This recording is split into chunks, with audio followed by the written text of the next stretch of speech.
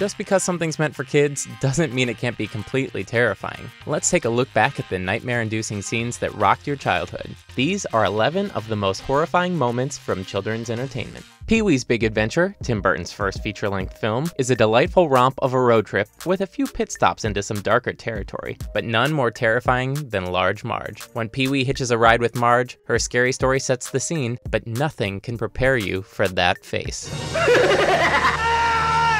Willy Wonka and the Chocolate Factory is filled with scenes that at least imply violence against children, but it's at its most nightmarish during Wonka's infamous boat ride.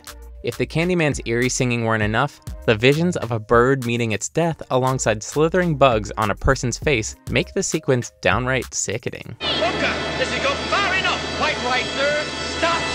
Anthropomorphic objects also run amok in the Brave Little Toaster, which gets plenty disturbing during its titular appliance's nightmare sequence. Toaster dreams he malfunctions, starting a house fire that has to be tackled by a firefighter, who just so happens to be a ghoulish looking clown. Jessica Rabbit may have been the first clue that Who Framed Roger Rabbit wasn't entirely meant for children, but nothing prepared young moviegoers for the creepy moment when Judge Doom survives being run over by a steamroller, revealing that he is, in fact, a toon himself. Holy smoke, he's a toon! Surprised? Not really. In the thoroughly creepy animated fantasy The Last Unicorn, the villainous Mommy Fortuna meets her fate in the grisliest of ways. When her carnival creatures are released, the harpy turns around to enact vengeance on his captor, ripping Mommy Fortuna apart as she cackles wildly with madness in her eyes. Don't look back and don't run. The movie canon of L. Frank Baum's work has plenty of not safe for children imagery, including the Wicked Witch of the West's infamous winged monkeys in The Wizard of Oz. The film's scariest scene comes when Dorothy and friends escape the haunted forest, only to be attacked by a horde of large, shrieking primates. They sure knocked the stuffings out of you, didn't they? Don't stand there talking. Put me together. Speaking of L. Frank Baum's brand of terror, Return to Oz is basically a wall to wall nightmare, taking place in a wasteland filled with scary characters like the steampunk Wheelers. But the ultimate freakout is evil Queen Mombi, who has a lust for decapitation. The moment when young Dorothy stumbles on her collection of screaming heads is jarringly unforgettable.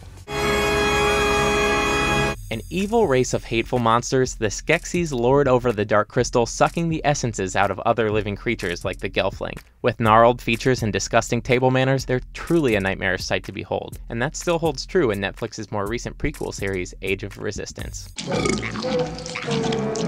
We Are Back is a dopey, amiable kids film that imagines if friendly dinosaurs were alive today. But a late scene where crows swoop in to completely obliterate the villainous Professor Screw Eyes is absolutely freaky, mostly because it remains so unexpected and unexplained.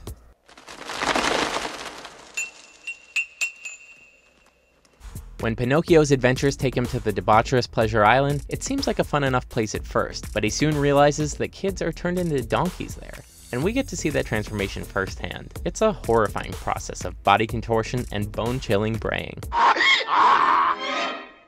Hey, you laugh like a donkey.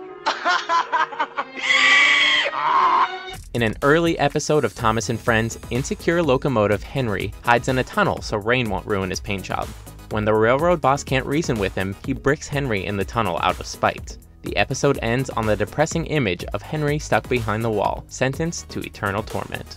He was very sad because he thought no one would ever see his lovely green paint with red stripes again. This has been the AV Club's inventory of 11 horrifying moments from children's entertainment. Head to the comments to tell us which other scenes from family oriented pop culture scarred you for life. Be sure and tell them Large Marge sent ya. Thanks for watching with the AV Club. For more interviews, inventories, and more, be sure to click subscribe and ring the bell to be notified about our latest videos.